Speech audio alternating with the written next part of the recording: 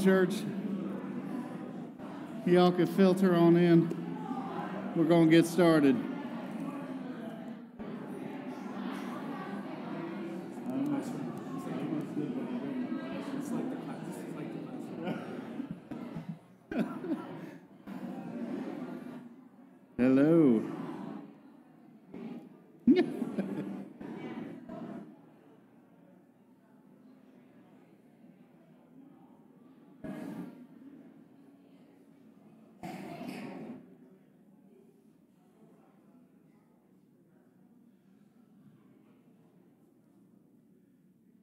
Good morning, church. Man, you guys are very social this morning. Uh, my name is Stephen Bradley. I'm one of the members here at, at Immanuel, and I wanted to welcome you to Immanuel Baptist Church this morning for worship. A couple of, of housekeeping items. This Sunday is Simple Sunday, correct? Which means that we are not going to have uh, childcare as usual, uh, but the kids will stay in here and worship with us. Um, also, instead of verbally announcing all the announcements, there are these, and there's a big box of them back there in the corner. If you haven't gotten one, this is going to keep you up to date on what's going on in our church. Well, let's transition now. The body of Christ gathers to worship Jesus. Um, and so, uh, I don't know about you, but this week I, I was reminded personally and, and as a community of just how things aren't the way they should be. That this world is broken by sin, and um, and so it was very discouraging. And so I turned to the Word, and, and I want to show you and kind of share this with you this morning, what the Lord put on my heart um, this week. I hope it was encouraging to me. I hope it's encouraging to you. But uh, if we could listen to this is from Romans chapter eight, uh, and this will kind of guide us into focus this God's word says, For the creation was subjected to futility, not of its own will, but because of him who subjected it in hope. That the creation itself will also be set free from its slavery of corruption into the freedom of the glory of the children of God. For we know that the whole creation groans and suffers the pains of childbirth together until now. And not only this, but also we ourselves, having the first fruits of the Spirit even we ourselves groan within ourselves, waiting eagerly for our adoption as sons and daughters, the redemption of our body. For in hope we have been saved. But hope that is seen is not hope. For why does one also hope for what he sees? But if we hope for what we do not see, with perseverance we wait eagerly for it. Let's pray. Our Heavenly Father, by the word of your mouth you created the heavens and the earth and all that is in them. You formed us by the dust of the ground, by the rib of Adam. In your image, man and woman, we were created. God, we sinned and we rebelled against you. And in doing so, we broke our relationship with you, with each other, with the creation around us we were without hope. But you, who are rich in mercy, with your great love with which you loved us, God, you sent your Son Jesus to die so that we might live. And God, while we're reminded this week of the brokenness of sin in the world around us and in our own lives, help us, Lord, to hope in you. Help us, Lord, to focus on you this time of worship with the body of Christ, Lord, I pray that Jesus would be magnified above all else. I pray that you would help us to um, put aside the burdens uh, that we walked in here with and help us to worship you in spirit and in truth this morning. It's in Jesus' heavenly and precious name I pray. Amen. Amen. Would you stand?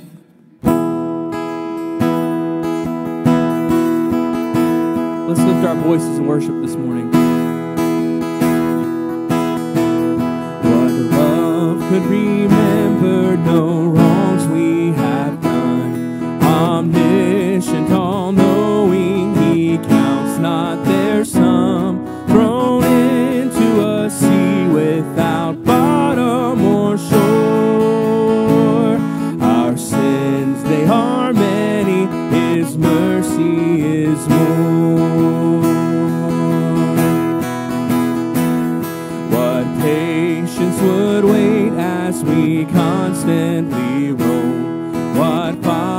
Father so tender is calling us home? He welcomes the weakest, the vilest, the poor. Our sins, they are many, His mercy is more. Praise the Lord, His mercy is more.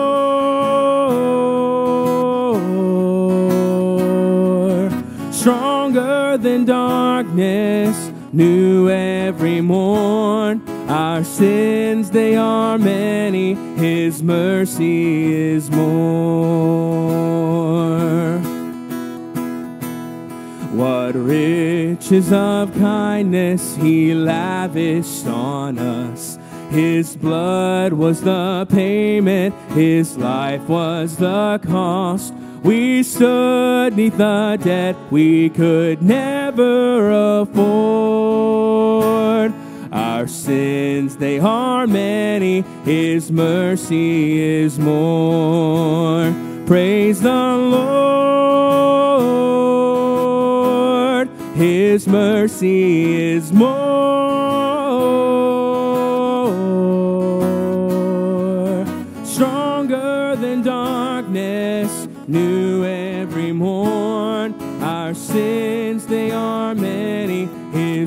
Mercy is more. Praise the Lord, His mercy is more.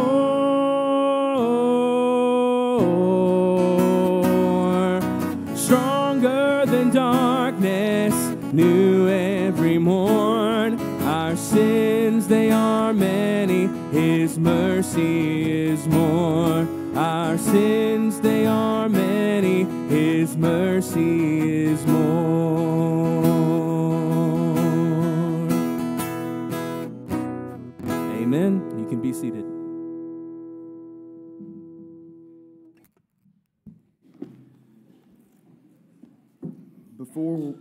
before we have our time of pastoral prayer, uh, we're going to state our faith together by reciting the Apostles' Creed, and the words will be on the screen for us.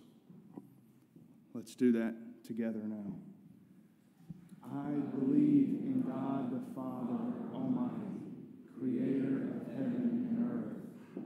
I believe in Jesus Christ, God's only Son, our Lord who was conceived by the Holy Spirit, born of the Virgin Mary, suffered under Pontius Pilate, was crucified, died, and was buried.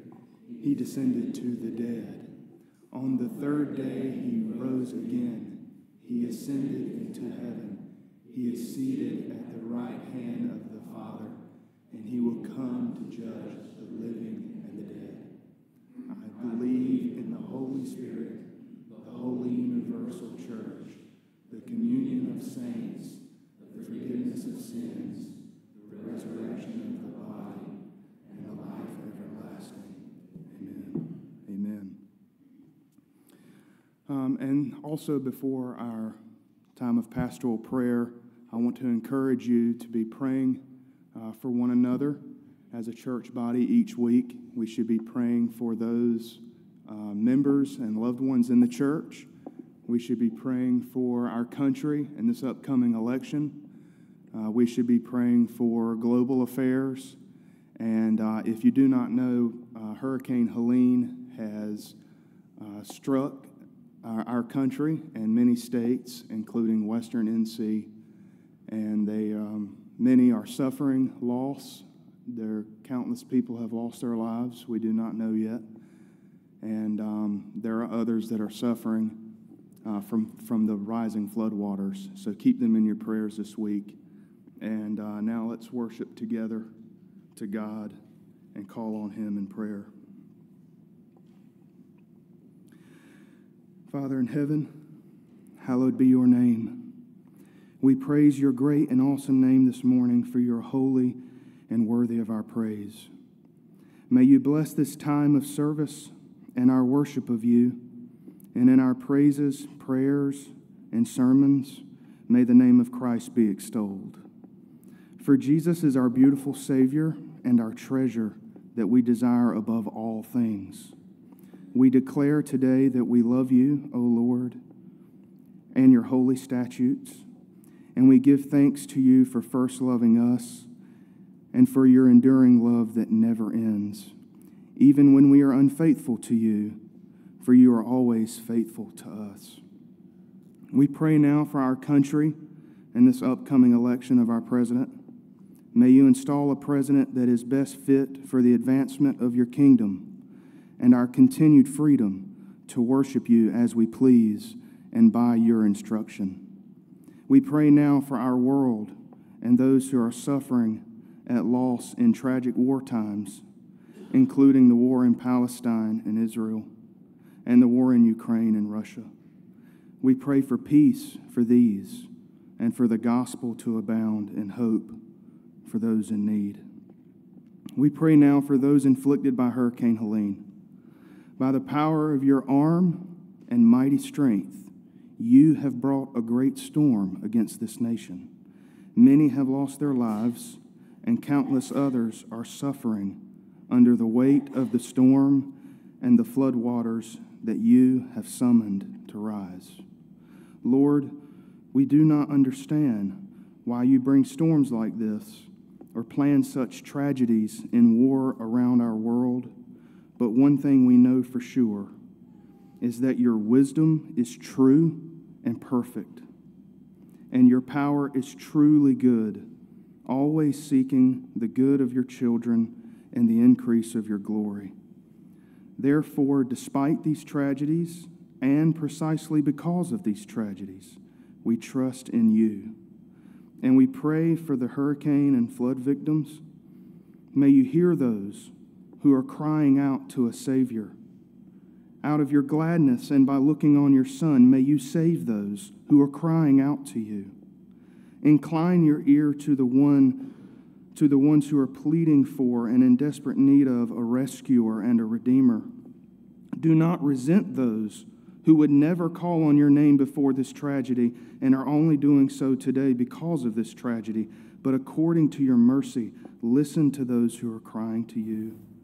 Use this tragedy to draw people to you who otherwise wouldn't come.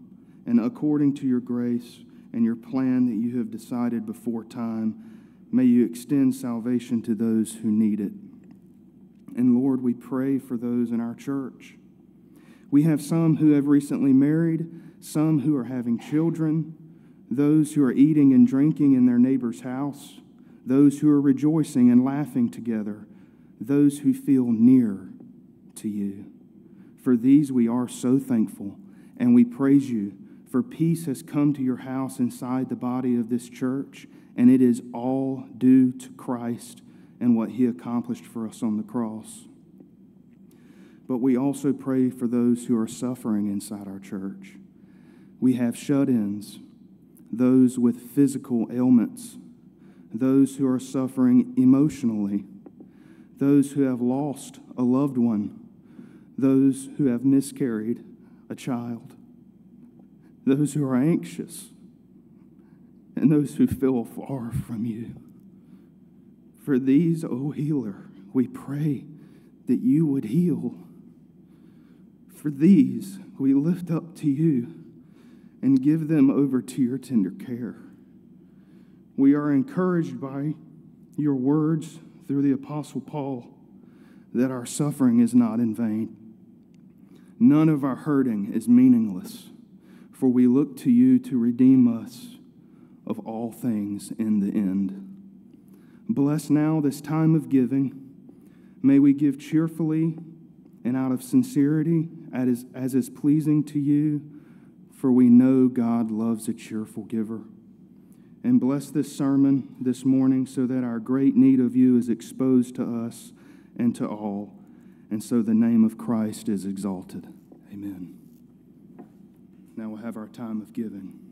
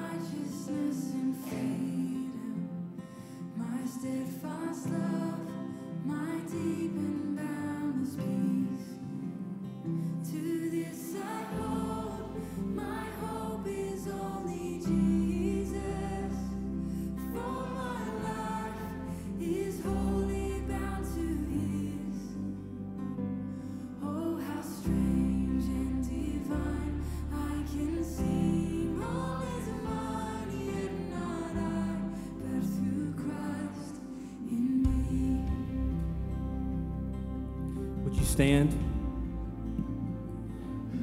As we sing this song together, I want us to think about this promise from Scripture, and it's that He who began a work in us will bring it to completion. Let's sing this together. Complete in thee, no work of mine could take, dear Lord, the place of thine. Thy blood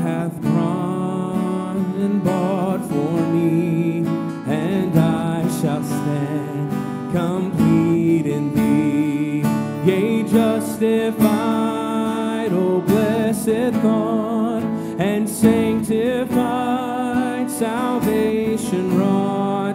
Thy blood hath pardoned, bought for me, and glorified, I too shall be. Complete in thee, each one supplied, and no good thing since thou my portion, Lord, will be. I ask no more, complete in thee, yea, justified, O blessed thought, and sanctified, salvation wrought. Thy blood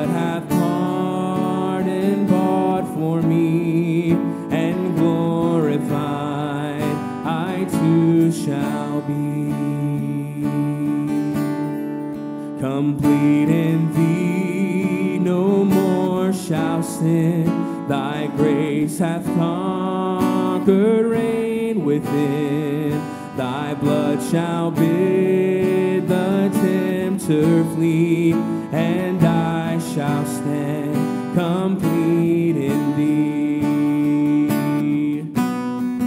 Dear Savior, when before thy bar and tongues assembled are, among the chosen I shall be at thy right hand, complete in thee.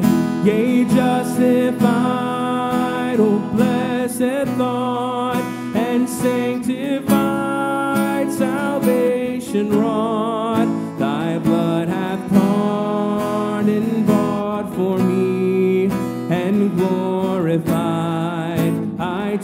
Too shall be. Yea, justified, O blessed thought, and sanctified, salvation wrought.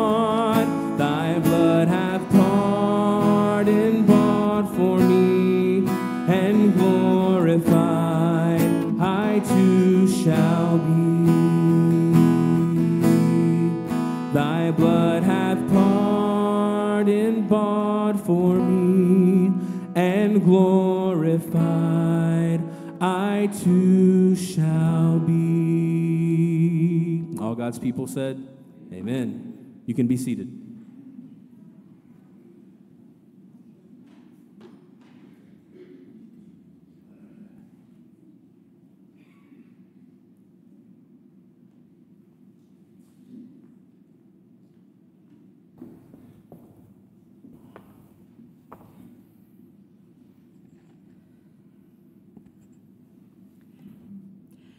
As we continue our journey through the four part story of Scripture, today we read the tragic account of sin and the fall of mankind. Hear these words Genesis 3. Now the serpent was more crafty than any other beast of the field that the Lord God had made. He said to the woman, Did God actually say, You shall not eat of any tree in the garden? And the woman said to the serpent, We may eat of the fruit of the trees in the garden, but God said, You shall not eat of the fruit of the trees that is in the midst of the garden, neither shall you touch it, lest you die. But the serpent said to the woman, You will not surely die, for God knows that when you eat it, your eyes will be opened, and you will be like God, knowing good and evil.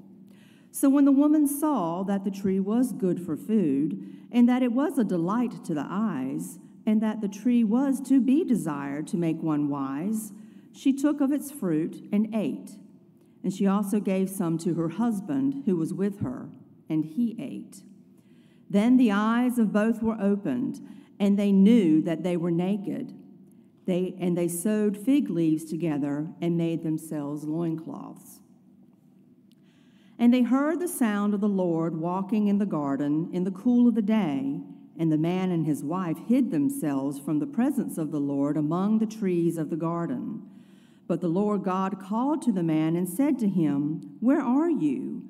And he said, I heard the sound of you in the garden, and I was afraid because I was naked, and I hid myself.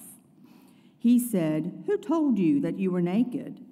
Have you eaten of the tree of which I commanded you not to eat? The man said, The woman whom you gave to me, she gave me the fruit of the tree, and I ate. Then the Lord said to the woman, What is this that you have done? The woman said, The serpent deceived me, and I ate.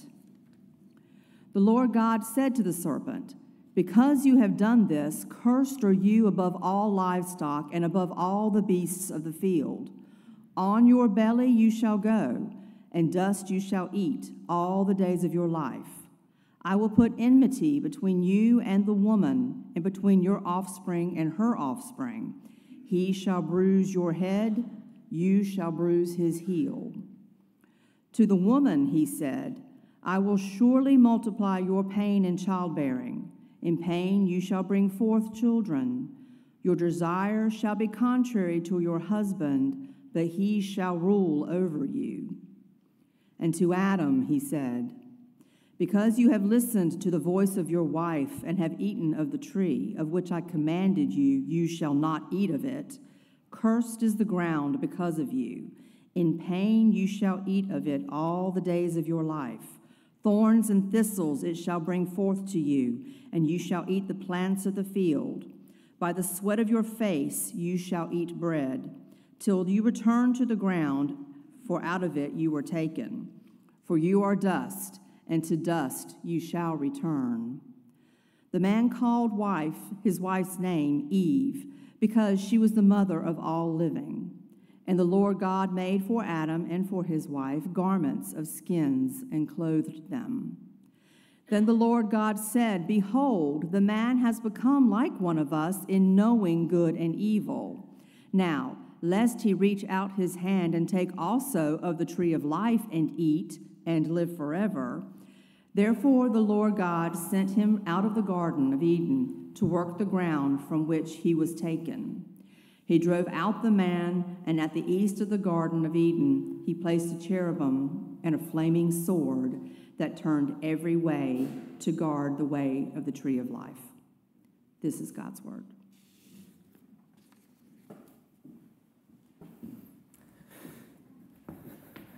Amen.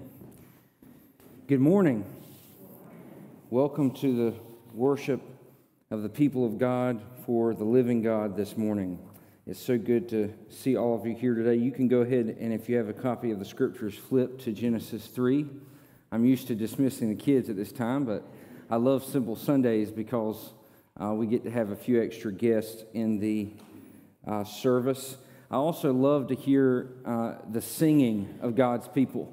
Uh, when we have just the guitar, I can hear the roar of voices behind me, and it's so encouraging to hear uh, the voices of his people sing his praises. And thank you, Britt, and all the other uh, people who minister to us this morning. I thank you, Renee, for reading. We have before us a huge text. Uh, this is packed full of meaning, and I want to give you a disclaimer this morning. Not only is nothing I'm going to say new to me, uh, it is in no way uh, my creation. Uh, there has been thousands upon thousands of uh, years of commentary and work done on this amazing, packed full of truth text. So, I'm not going to really say anything that's original to me. You can assume that I have done study. I've had a lot of help this week from a lot of great minds of the past, some that have passed on, some that are still alive. Uh, I've been able to study, and I have been greatly enriched this week by this beautiful chapter, uh, even with its difficult sections. So, just a disclaimer up front uh, don't expect your pastors to reinvent the wheel. We are humble students of, of uh, God's word, just like uh, you. So, that's one thing. Another thing is, we're not going to be able to cover everything in this chapter. you do realize this chapter is packed from beginning to end, packed. Uh, we could dive into this for weeks upon months. Scholars have worked on it for years, and it is a beautiful, powerful, ancient, ancient text. So you have to remember, we're on a plane ride, right? We're in this four part story. So if you don't feel completely like you've mastered the text in all of its entirety, or if you are disappointed in me by the end of the sermon because I haven't given you enough data on some nuance that you wanted clarity on, I must encourage you, alas, we have not the time. So, with that being said, though, I do want us to get to the heart of the text today, and that's going to be pretty simple, hopefully. Uh, but before we dive in, uh, we have to remember where we are. We're in this journey through the four part story, right, as a church. We are going through the whole of Scripture in a speedy plane ride to enable us to grasp the larger story, right? And that story is broken into four parts. Maybe you can say them with me. Uh, pretty easy because they'll be up there for you. But four parts, right? Creation, fall, redemption, restoration. There we go. And that's the four basic parts of Scripture, the, the flow of the whole story. And these four sections, remember, they, they answer and deal with fundamental questions that all human beings ask and that you ask every day in some way. And that is where did we come from? What happened? What in the world happened to this, to this world? We're going to talk about that especially today. What hope do we have? And where are we going? These are fundamental questions that we'll be exploring. And that always leads us to put flesh on the, those four pieces. We see four recurring themes that we're going to hit throughout the story and that is God's people in God's place, under God's covenant rule and blessing, through God's king. And last week we talked about creation, and God's people at this point in the story are Adam and Eve, human beings that He's made in His place, which is Eden, where His, where his presence dwells. And under his covenant rule and blessing, they are to spread Eden to all the reaches of the earth. And as long as they obey God's one command and they eat of the tree of life forever, and the person who's supposed to represent us before the Father and who's supposed to administrate all of this and make sure that it's carried out is God's king, which at this point is Adam. So now we're going to see, sadly, how the story takes a turn for the worst, as you already know well. So, all we're going to do is we're going to talk about sin today. Now, I realize sin is a topic that, in many ways, in the modern world comes in and out of vogue. Uh, there are seasons where sin is a kind of a, a, a dirty word we don't like to talk about, kind of an archaic idea that human beings sin. We're really more determined by our upbringing and our chemistry and our brain chemistry and all that stuff. It's not, it's what is really sin. But if you, if you actually follow the course of history, sin comes in and out of vogue. Uh, we're talking more about it today in academia the concept of uh, sin, that we do things that are inherently wrong, that are uh, against the fundamental assumptions of morality in our culture. Well, we're going to talk about the Christian vision of sin, uh, what the Bible teaches about sin. And the way we're going to do it is three simple things. We're going to look at the origin of sin, we're going to look at the effects of sin, what comes about by the introduction of sin. And then we're going to end with hope for sinners. Uh, and I hope that you look forward especially to that third one. So let's, let's start with the origin of sin. Those first six verses kind of give us this story of where this new experience enters the narrative. Up to this point, sin's a foreign concept to our parents. Adam and Eve know not of what that word means. Uh, they haven't had this experience, but we see how this starts with the serpent entering the garden and tempting Eve. Well, before we go into that, maybe you're wondering, like I often wonder, and many people have wondered, why this test? Why did God do it this way? Um, have you ever wondered, well, why did God put the tree in the garden? Couldn't He just maybe have skipped that little feature? Could He have just left that little shrub out and just everything else would have been fine?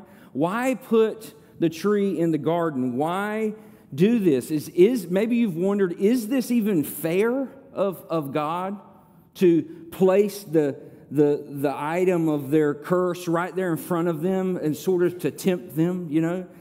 Uh, I've thought that throughout my whole life. I've struggled with that when I was young, especially. Maybe you wonder that. Is this a fair thing? What is this test about? Well, to be honest with you, it's really a simple test. If you read the text and think about it, it's pretty simple. What God is trying to do is ask the question Will you, Adam and Eve, will you obey me? Will you obey me? Will, do you trust me? Do you trust me? Will you obey me? Just for who I am, do you, do you trust me? And he's giving them a free, a genuinely free choice. And we know that, that love and relationship is largely based on a genuinely free choice. Like if your spouse made you, forced you to love you against your will, it wouldn't be love, right? God wants to see if they will genuinely choose to obey Him, to trust Him, and he gives this, them this opportunity. That this tree represents an opportunity for Adam and Eve to let God be God and to trust his timing, wisdom, and character. Now, the alternative could be pretty simple. You're saying, well, don't you, well, that seems like an okay idea. I guess they can have a genuine decision. That's great and all. But don't you think he could have explained it a little more? Maybe giving them, uh, look, if you eat this, look, uh, you're going to have a child in a few years. He's going to kill your other child. Then all your descendants are going to fight. Wars are going to break out. Uh, bombs are going to go off. I mean, uh, literally, the world's going to fall apart. Let me show you the details. Maybe he could have tried an alternate route. Here's why the tree is bad. Look, it's, it's poisonous. Uh, it doesn't taste good. Um, it'll do this to you, you know, give you a runny nose or whatever. It, anything God could have added some information to maybe fill in the colors and, and make it a little harder for them to, to add to the tree. Always said if you eat it, you're going to die. You think that would be enough. But you have to wonder why could, could God just explain more? Why didn't He tell them what was really at stake? Well, if you think about it, the result of that would be pretty simple. Adam and Eve would then have to weigh the options of obeying and they would have to assess the situation for themselves. What's really good for them or what's not. So they would essentially be making the decision based on themselves, how it affected them, how they assessed if it was worth it or not to obey God. They would be assessing the situation for themselves. What is this? This would ultimately make the decision based on them, how they judged if it was worth it or not to eat it. It wouldn't be based off God. So, in other words, what is this church? It's a pretty simple thing. This is a genuine test of virtue, it's a genuine test of goodness. Y'all, we don't use the word virtue a lot today, right? Um, if you might call someone virtuous occasionally, somebody accuse you of being Shakespeare at work or something, but if we use that word, virtue really means goodness, right? Goodness. Uh, if you call a person virtuous, then they're good, they're a good person. Well, when you think about virtue, all throughout history, theologians and philosophers have written about different types of virtue. Aristotle postulated different types of virtue, Augustine, Aquinas. But I think one of my favorites from a, a pastor, a theologian that I was studying this week who referenced Jonathan Edwards. Uh, you, many of you know of Jonathan Edwards. He writes on virtue, and he, he comes up with two types of virtue common virtue and true virtue. Those are his labels. Now, common virtue works like this if you're in your workplace you know, you're very concerned about working and being around people that are virtuous, right? You want to work for someone who is virtuous. You want to work with people who are virtuous. That's the, at least the hope. Well, you might ask yourself, why be virtuous? Why? Well, many people are virtuous for two not so great reasons. The first one being fear. Many of us do good things out of fear, right? If I tell a lie at work, I might get caught and it just won't work out well for me. Well, why are you being honest? Out of fear. You're scared of being caught, okay? If God would have given reasons to Adam and Eve uh, upon end of the whole future, they could obey out of fear, okay? That's not what God's after. Another, another motivation that we obey, what's another reason many people do the right thing? Have you ever heard, we don't do that in this house? Anybody grew up hearing that? We're Tillmans. We don't do that. Uh, we're Christians. We don't act that way. We're Americans. We don't do that this way. We're whatever, fill in the gap. What's the motivation behind doing that good thing? Pride. So the first one might be fear. You're scared of doing wrong because you might get caught, things might bad happen, what this, that, and the other. Or you might obey just out of pride. The fact that people like me do things right in this way. That's just pride. If you, if you think about that, what's at the root of your reason to obey? Sin. Sin is at the root of those motivations. The fear and pride, that's what motivates us to do good. But Edwards talks about the, that's what he calls common virtue, everyday virtue, the reason why most of the world is virtuous. And praise God for common virtue, because if we didn't have those restraints, this world would be unlivable, it would be a nightmare. But the higher virtue, what, what Edwards calls true virtue, is what, what is it when a person is genuinely virtuous? How, how, virtuous? How do you have true virtue? When you obey or do good simply for the sake of doing good, simply because you love God, you love who He is. God is good.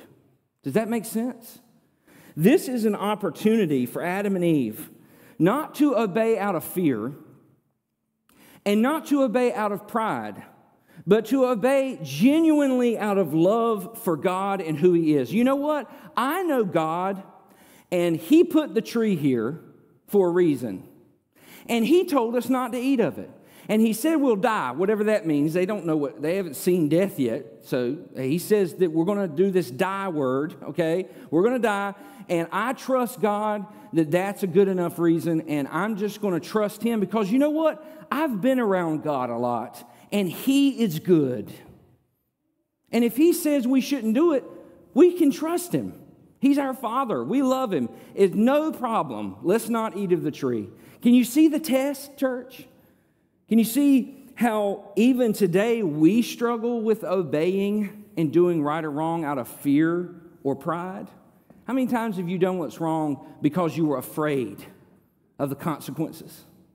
How many times have you done what's right just because you were proud of doing what was right?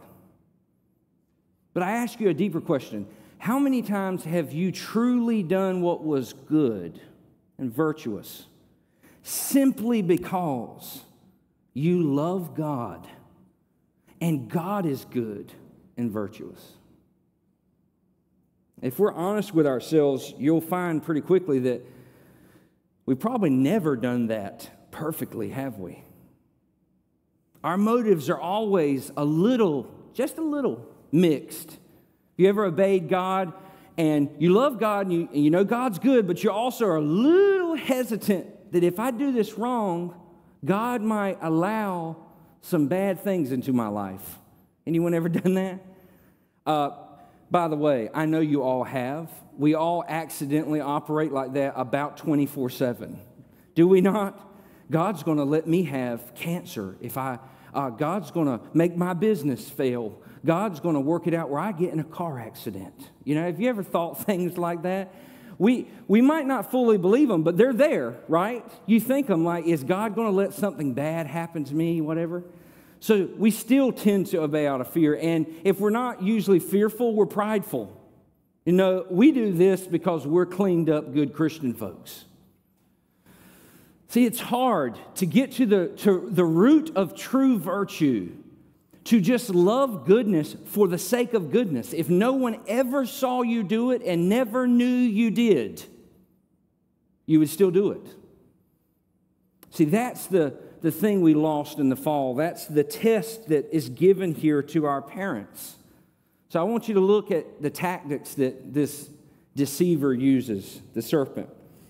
I love the, the old King James where it says the serpent was more subtle, you know, than any beast of the field. He's crafty, he's sneaky, right? He's subtle and he subtly deceives, which is lying. But you notice the type of lies he, he constructs aren't full bodied lies, they're like partial half lies, which are, by the way, the most dangerous. A blatant lie is sometimes way easier to spot, but one that's got, you know, 40% truth in it is really easy to believe. That's what the serpent does. What does he say? Did God actually say? Don't you love that word? Have you ever been asked that by a child? Actually? You know, really? You know? The, the serpent, in that archetypal way, is saying, Did God actually say that? Can't you? He didn't come out and say, No, God did not say that. You shouldn't, you should believe me, not him. No, he, he says, he just plants a little seed, a little seed of doubt in the heart of Eve about God's word. Now, you have to remember, at this point, remember our story before. Who was the original law given to? Adam. God gave Adam the law of not to eat of the tree before he made Eve. Remember, because Adam is supposed to be functioning as our representative. He's supposed to be our prophet, priest, and king, right? He's supposed to bring the word of God to Eve and to all of his children. So Eve learned of this law from Adam. Think about that. So the doubt here is easier because the doubt plays on the fact that Eve wasn't technically there in person when God gave the law. So he goes, Did God actually say that? And Eve, you know, uh, well, I mean, that's what Adam said. You know, I don't know. I wasn't there. You know, so you see this seed of doubt? And this doubt, what does doubt draw its power from, church? How is doubt powerful? Fear. Doubt draws its power from fear. The only reason doubt is scary is because you're doubting the truth in light of a lie, right? So you're scared of something that may or may not happen. It's, it draws its power from fear. Her fear here is what if I didn't get all the information? You know, like, well, I, I'm pretty sure that's what he said. And you notice she doesn't quote God perfectly, she quite, just a subtle alteration.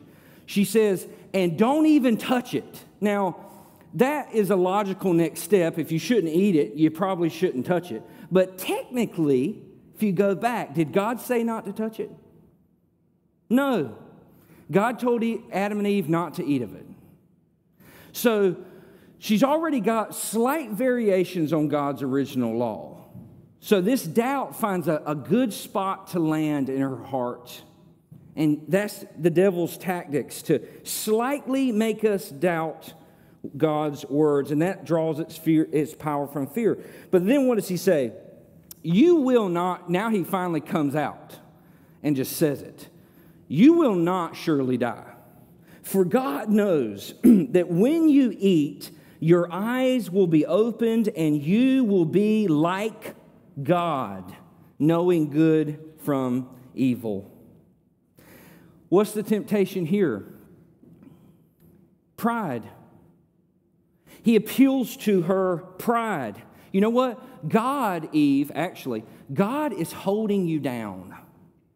God is scared because he knows when you eat of it, you will be like him. So you can't trust him. You should call the shots. You know what?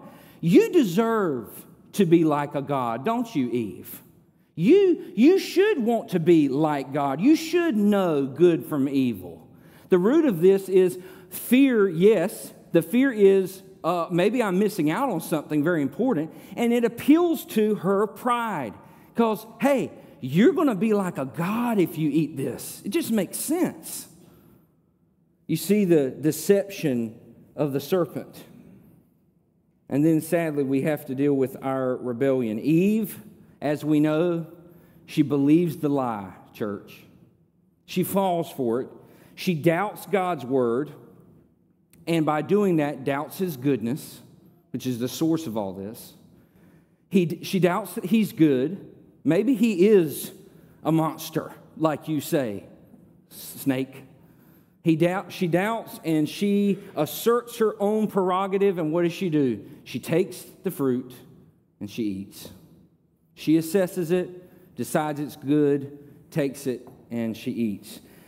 Now, what's interesting here is the way the rest of the Bible talks about this moment. Y'all, you all know that Jesus is the second.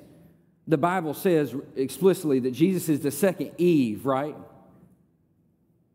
Is that what it says? No.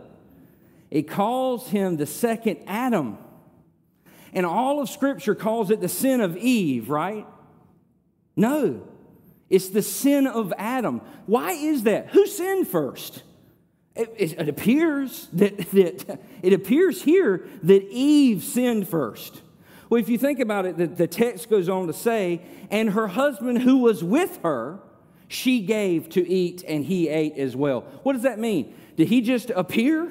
No, the text says he was with her.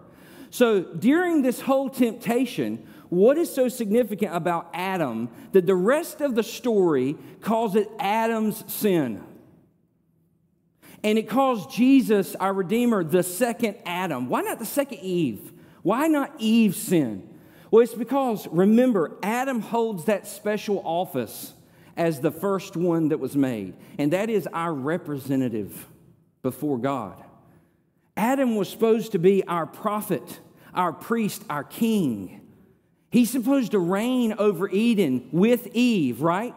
Well, what's the prophet, priest, king doing here, church? What's he doing? He's a coward. Adam, this is probably the most significant, not probably, it is, the most significant sin in all of Scripture. And everyone goes, oh, the most significant? Wait a second. We're about to witness a murder in a few chapters. Uh, oh, oh, wait a second. Noah's day was no one on the whole earth except one family was doing anything good. And you're saying this is worse? Uh, we've experienced World War II, maybe three someday. Like, We've experienced all, you're saying this little sin of him standing beside Eve is worse? Yes. You know why? This sin is the fountainhead of all those other sins. It flows from this moment. The prophet role, he just abdicates. He just skips. What's a prophet supposed to do? They're supposed to bring God's word, speak God's word. What does Adam do? Does Adam speak up? Oh, whoa, whoa, whoa, whoa. No, no, no. Actually, I was there, serpent, snake, person thing. I was there. God said this. This is God's word. Did he do that? No. He, he doesn't step up. Uh, what is a priest supposed to do? Mediate God's presence, bring people into God's worship. What could, what could Adam have done here, church? Hey, whoa, whoa, but Eve, let's go to the Father. Come, come with me. I, I, we can go. He, he walks with us in the cool of the day. He knows us. We can call on him. He, he loves us, Eve. He'll come. He'll talk with us. Let's go to the Father. Does, does Adam do that? No. He sits there. And ultimately, he's God's king. He's supposed to defend God's law. He should have said, Whoa, stop, and gotten in between the snake and Eve and said, No, no, no, no uh, God's law is pretty simple. We're not eating of it. Thank you. You may slither on your way. We're going to live.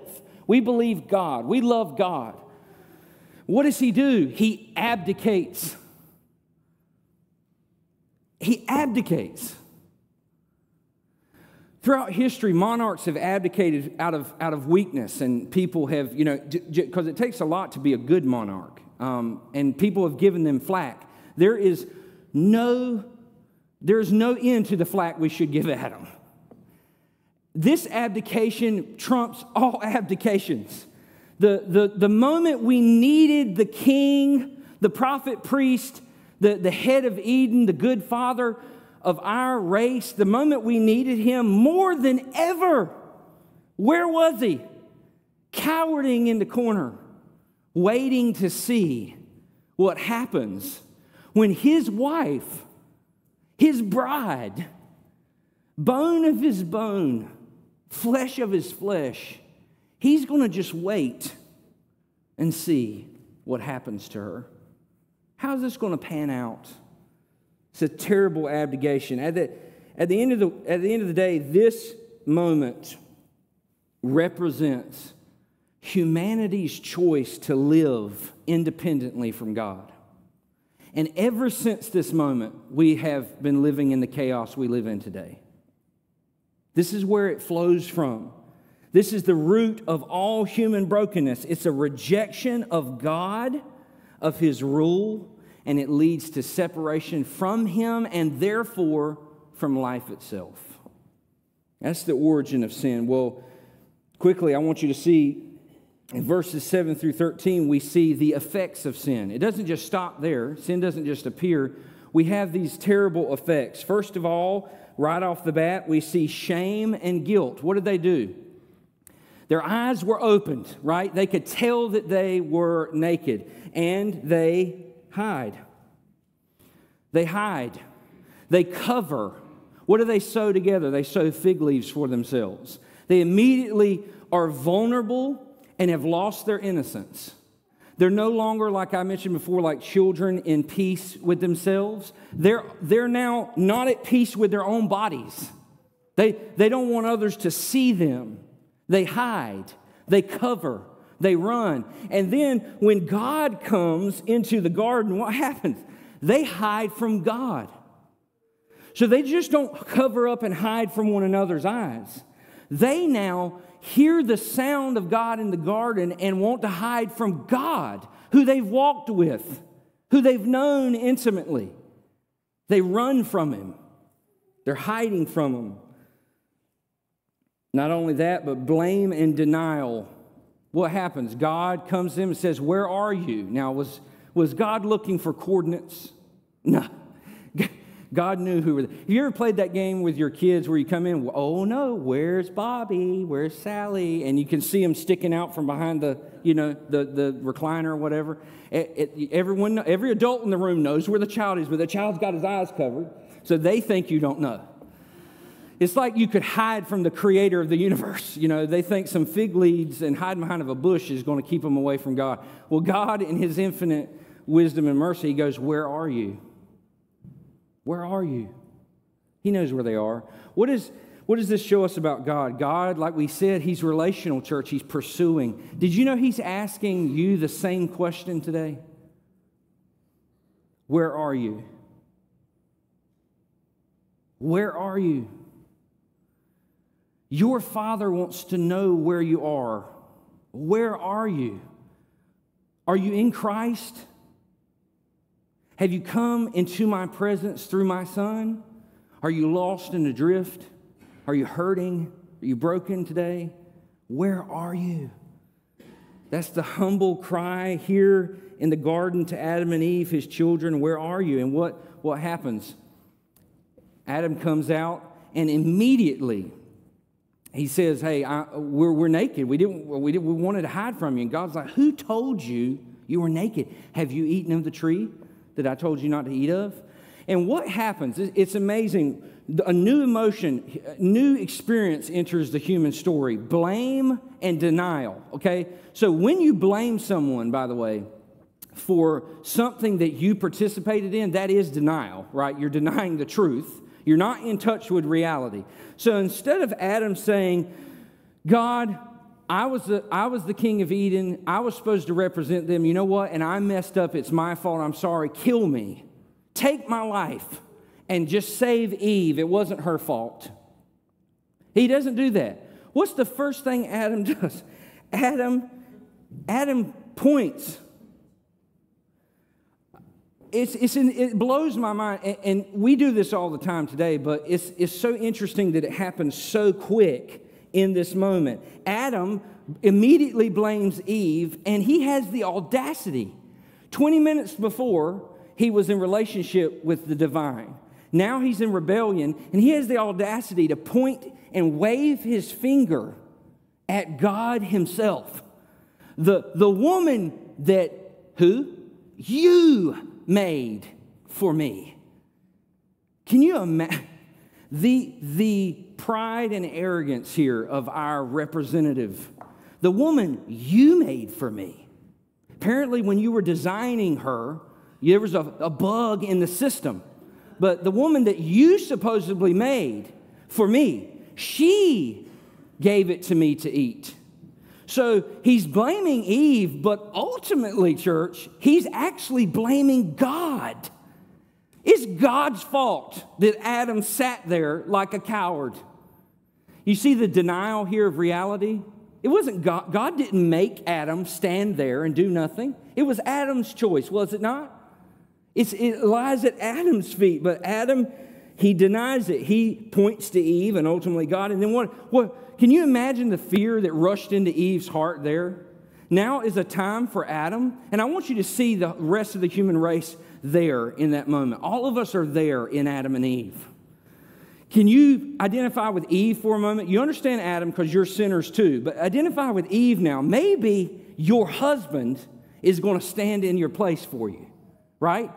Maybe he's going to stand up for you.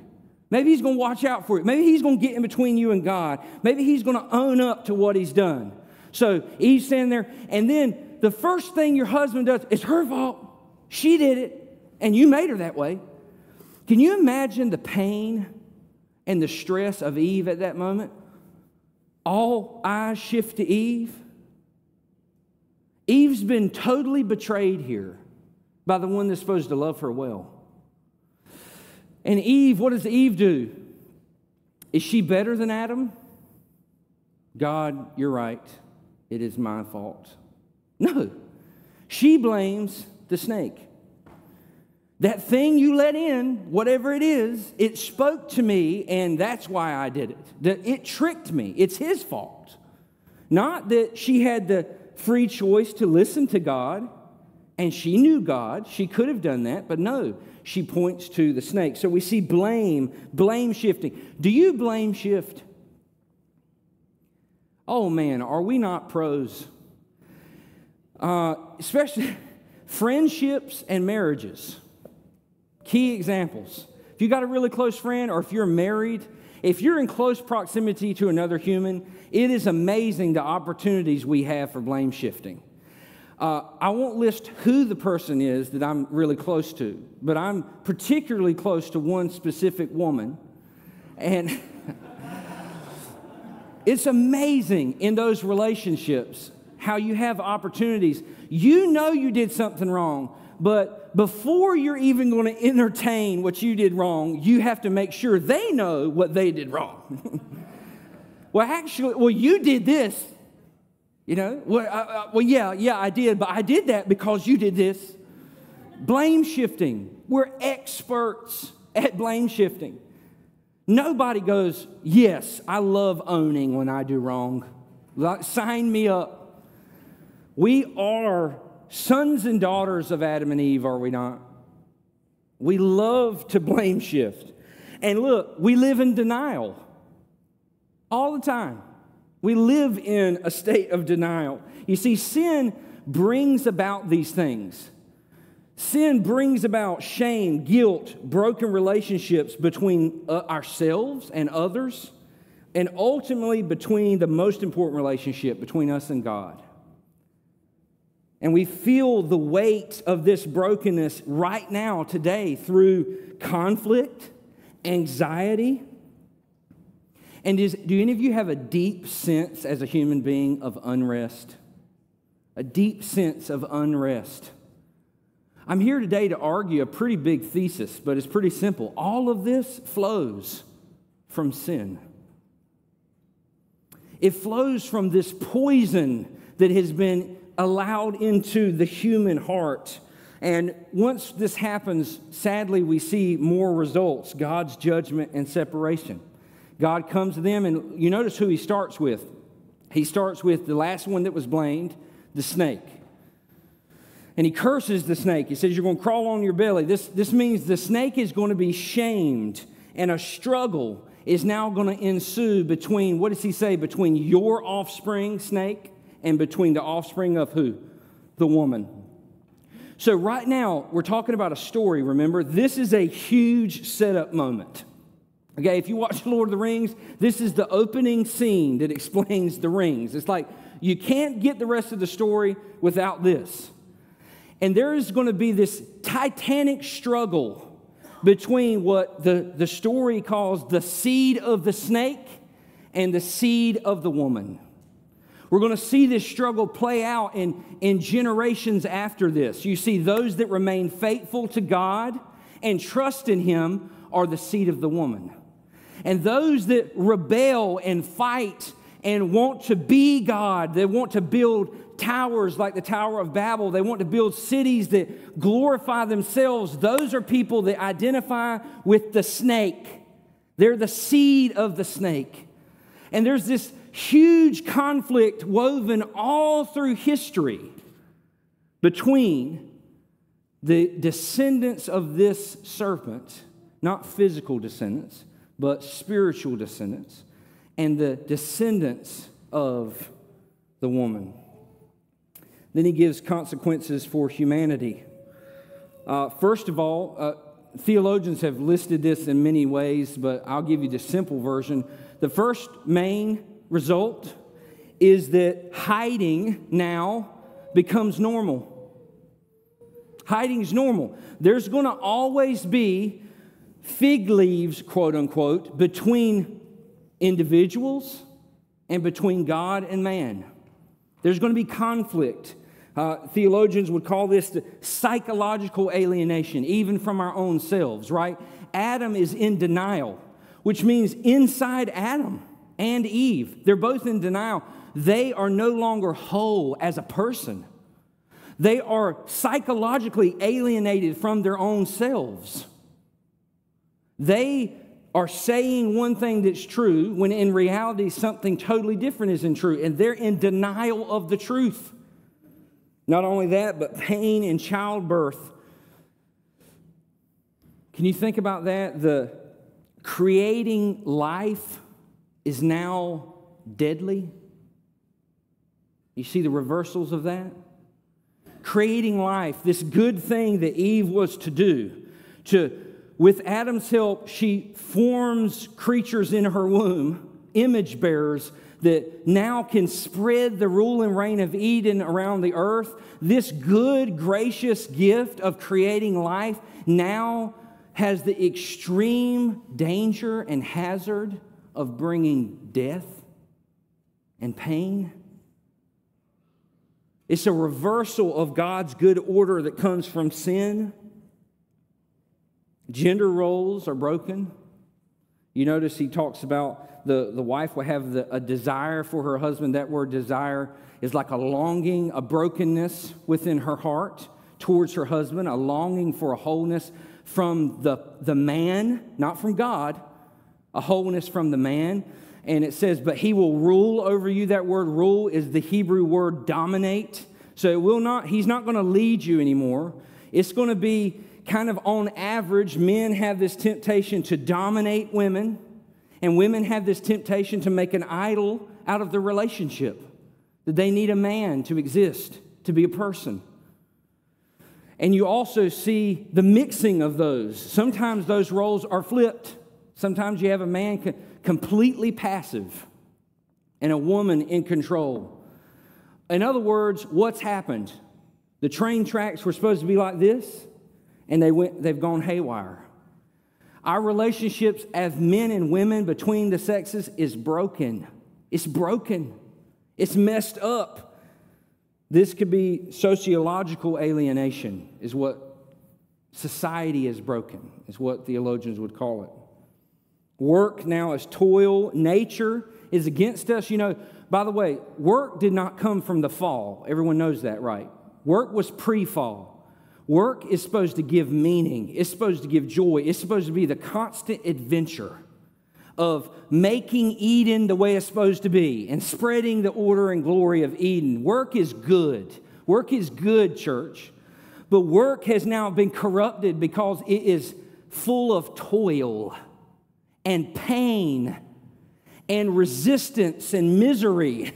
Can anybody identify? Work can be misery. Work can be toil. Does, does your work just submit to you?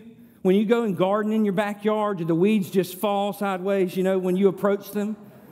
No, not at all. They, they resist you. You might get them all out, and the next morning it seems like the dew has caused a whole flock of new weeds to grow. The, they're against your will. Our work resists us. Not only that, but nature is now broken an ecological alienation. The, the ground that we were supposed to have a great relationship with, to work and to keep, it's against us. Also, that beautiful text that Stephen quoted this morning all of nature is groaning. Nature itself, this place that was supposed to be our Eden that we spread, that was supposed to be something we govern, do we govern nature? Do y'all, does anyone here feel in charge of nature? We, God has prepared this sermon for this moment because we learned this week as a nation, did we not? We have no control over this world. This world that was supposed to be a habitation and a home and a safety place for us is now actively trying to kill us. Anybody been around a lion that just walks up to you and just rubs up against you and is fine with your presence? No. What does the lion do? It doesn't want to just hurt you, a lion wants to kill you. It doesn't see you as an image bearer, a prince of its mighty king, representing him now. It doesn't bow before you, it resists you. Even nature is broken and it goes all the way down to the dirt. What does God say? You now will die for from dirt, dust you came, and to dust you shall return. Look, the thing that we were taken out of, that we're supposed to nurture into life, to glorify God, to spread, instead of us governing the earth, we're going to be six feet under the earth at the end of our days. To dust we return. We have no governance over this ground. All of these things are brought about by sin. And the worst one of all is the last one. We're alienated from God. God has to take his son and daughter, Adam and Eve, he has to remove them from his garden paradise. His garden temple where he dwells on earth, they can't be there anymore. He puts a, a cherubim there to guard them. He, he has to get them out of his presence. Why? Because sin can't be in the presence of Almighty God. He's too holy, He's too good. So, all of humanity's struggles, our suffering, hard labor, our pain, our death, all flow from this moment of separation from God. But what's amazing is number three, the last one I hope you've been holding out for, it, and that's that even in judgment, there's a hint of God's redemption. So, number three, the hope for sinners. If this is where sin comes from, and this is what sin has done to us, well, what hope do we have? It's pretty simple. I skipped it slightly if you caught where I was going through the text. Look in verse 15 of chapter 3. Renee read it, and some of you, I even heard remarks in the crowd, and it made me joyful. This is what's called the proto evangelion, the, the proto gospel, the early gospel, the first glimpse of the good news. Genesis 3:15 I'll put enmity between you and the woman he's talking to the snake and between your offspring and her offspring he singular he he shall bruise your head and you shall bruise his heel. The writer of Hebrews and Romans both point out the importance of that singular use. There's a singular offspring of the woman coming. Church, what is this right here? A snake crusher is on his way. A snake crusher is on his way. God's not going to leave this story to itself.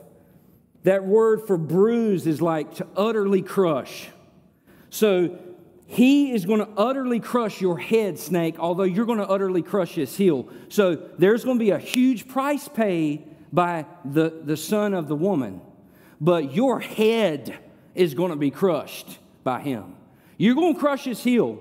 You're going to wound him terribly. But he's going to crush your head. And it's over.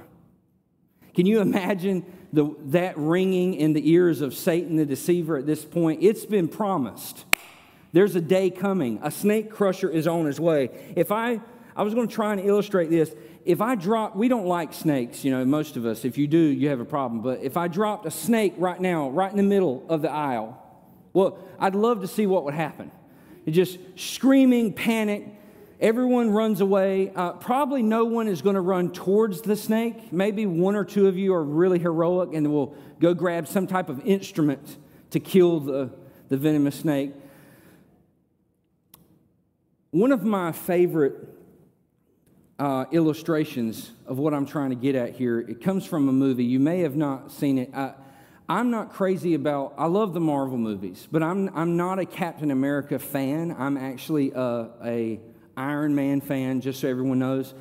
But if you really love Captain America, if you've read those comics or watched those movies, there's a moment, you remember Captain America was this scrawny little teenager. And the only time I've ever teared up in a Marvel movie other than when, I, when Iron Man died. Spoiler alert if you haven't watched it. But the only time I've ever teared up in a Marvel movie, because I don't take them very seriously, and it still chokes me up, I'm probably going to have a hard time talking about it, is uh, in, Captain, in Captain America's first movie, he's this scrawny little picked on, bullied teenager, itty bitty. And he's chosen to be this superhero that's turned into this mighty warrior and he, you know, he becomes huge and he basically can't die and he's like super strong. But originally he was this little shrimp that with nothing going for him. And the general is making fun of the decision that this little scrawny guy is going to be the Captain America. You've picked him to be the Captain America. And the woman who's trying to get a point across that why he should be picked, she walks up and she, she nonchalantly takes her grenade and she pulls the pin out and throws it on the ground.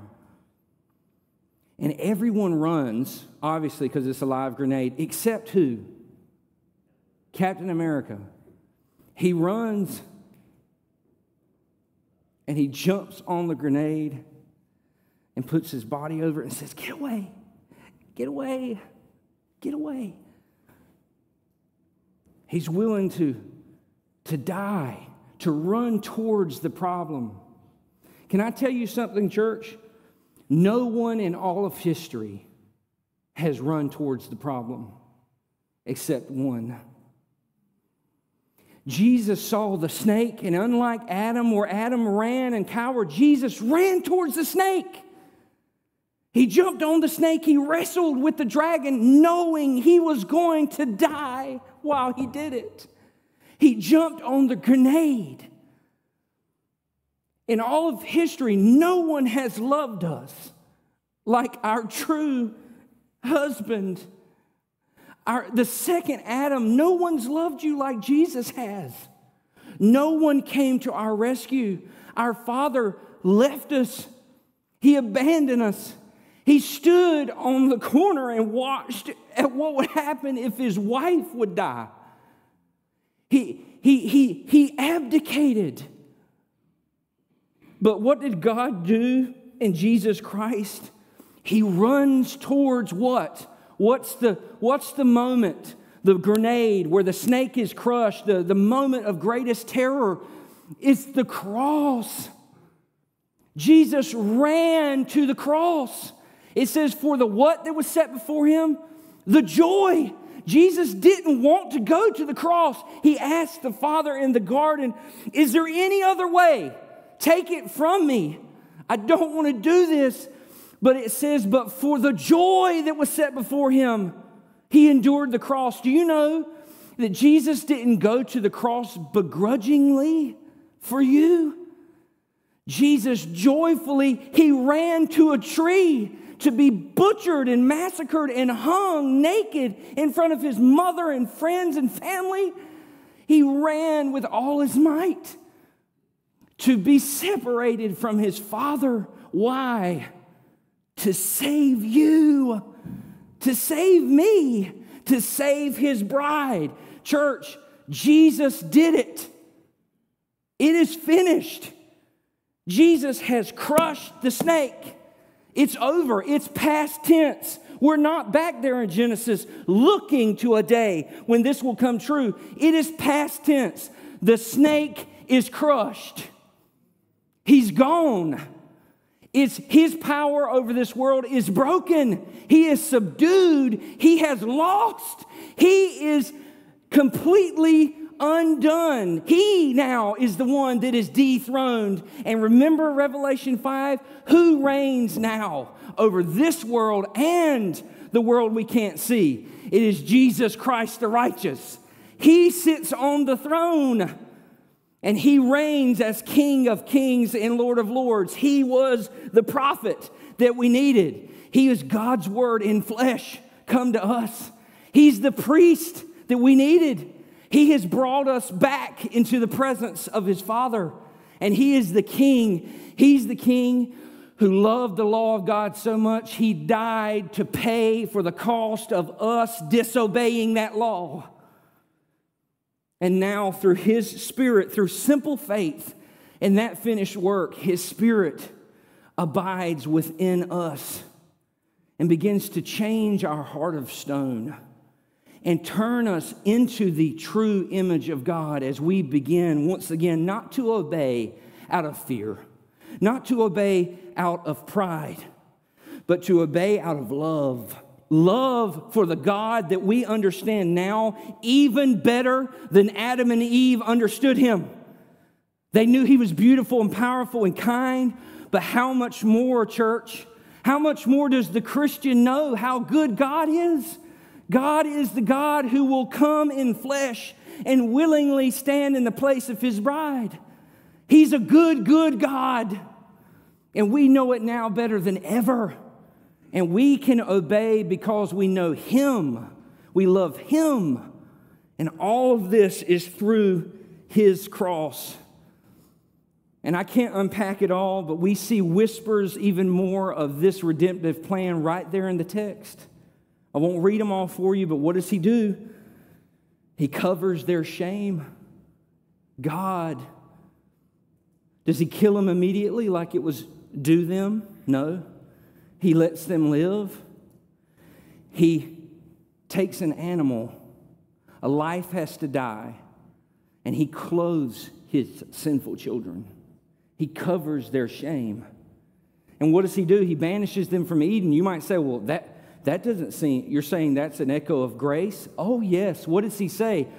We must remove them from Eden lest they eat of the tree of life and live forever.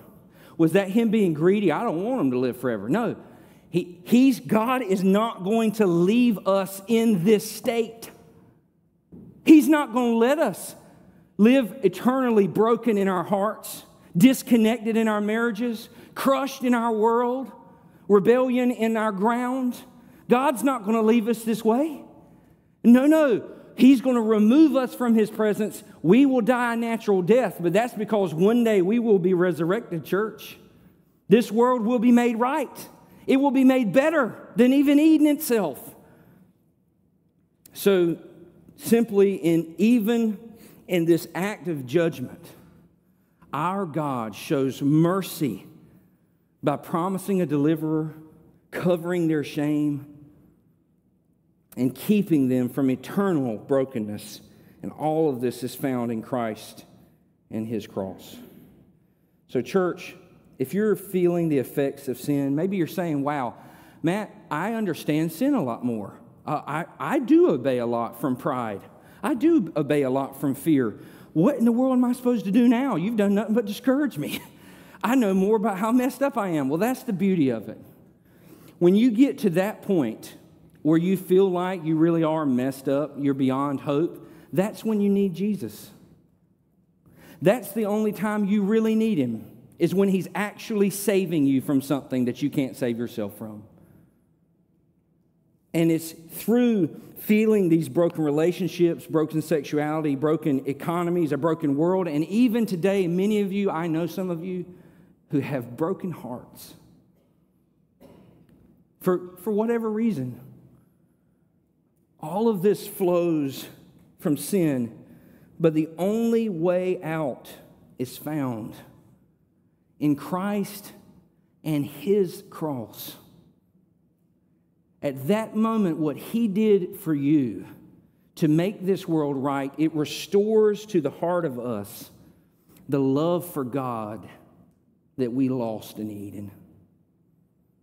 And from that headwaters flows a recreative energy that begins to sanctify that broken, hardened heart.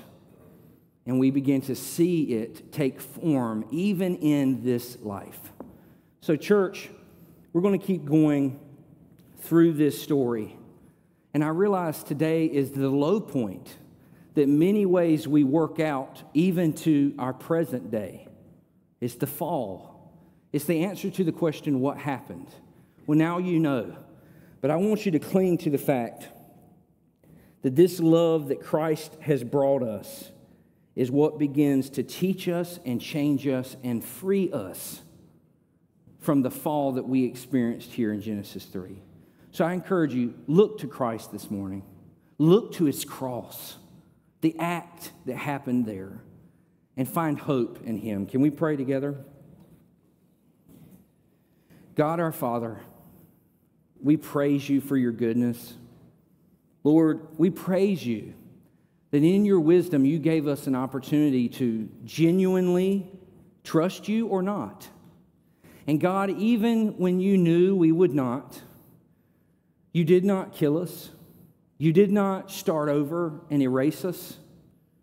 You did not undo the fabric of this world. No, you kept going because from the very beginning, your plan was to show to all of creation, to show to all the cosmos what you were going to do in Jesus Christ. And we praise you for that. We thank you that this morning we are able to come to you and worship you because that finished work has been done on our behalf. Lord, we give all the praise this morning from the bottom of our hearts to our greater Adam, to our true husband, Jesus Christ the righteous.